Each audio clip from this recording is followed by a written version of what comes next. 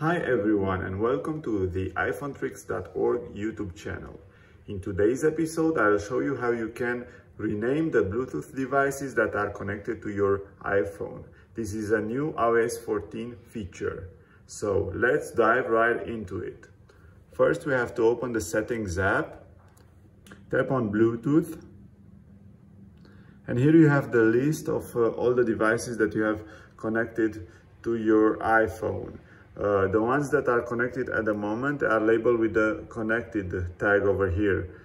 Um, you can only edit the name of a device if it's currently connected. So you have to tap the blue info uh, icon over here.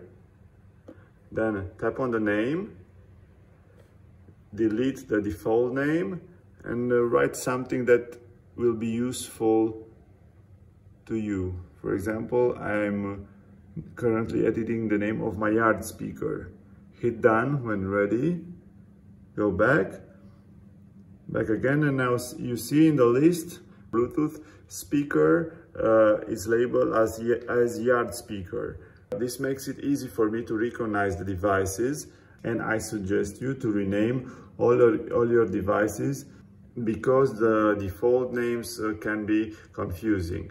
As mentioned before, renaming works only if you're connected to the, the device. For example, this one that's not connected, if I tap the blue, I'm only getting the option to forget the, this device and not, I'm not able to rename it.